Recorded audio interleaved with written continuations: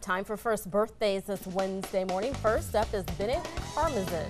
His parents are Andy and Emily. Bennett loves playing with his cousins and friends. And a happy birthday to Cash Wagner. Ryan and Megan are his parents.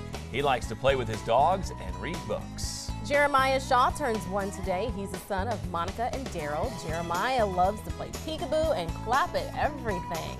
Let's say hello to Drake Milks. His parents are Vaughn and Julie. He loves splashing in the bathtub and doing whatever his big brother does.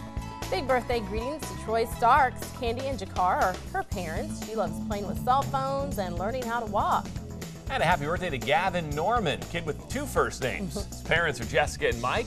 Gavin likes playing peekaboo, chasing mom and dad around the house. I love the black and white. I do too. It's Harper Beal's first birthday. She's the daughter of Lindsay and Andy. She likes exploring and playing with her dog. If you would like to share a picture of your little guy or girl, all you have to do is log on to WOWT.com slash first birthdays.